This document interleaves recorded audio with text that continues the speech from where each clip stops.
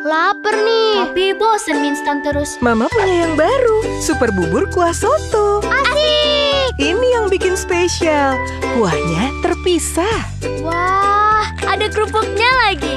Hmm. Kuahnya gurih. Hmm.